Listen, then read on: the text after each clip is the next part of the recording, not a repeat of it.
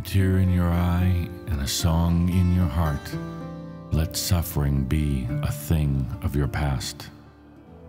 You came to earth to realize what it was like to live within your own creation, where you could see the results of your thoughts and your actions and your consciousness. Every one of those experiences has expanded your soul. Every one of those experiences has helped to answer that original question.